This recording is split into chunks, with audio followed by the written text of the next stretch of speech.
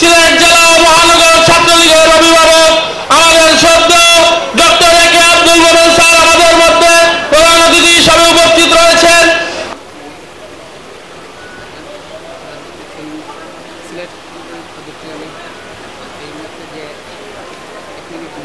সহযোগিতা করবেন আপনাদের সবাইকে নির্দিষ্ট স্থানে থাকার জন্য অনুরোধ